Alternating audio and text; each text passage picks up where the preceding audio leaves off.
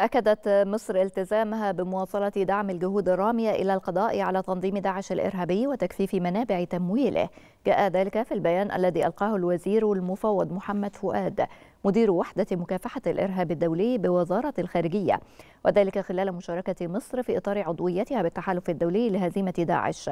وذكرت وزارة الخارجية أن الاجتماع تناول الجهود المبذولة للتصدي لبقايا تنظيم داعش الإرهابية في العراق وسوريا سبل التعامل مع التهديدات التي تمثلها الجماعات المرتبطة بداعش في أفريقيا وأفغانستان. بالإضافة إلى المستجدات الخاصة بأنشطة مجموعات العمل المنبثقة عن التحالف.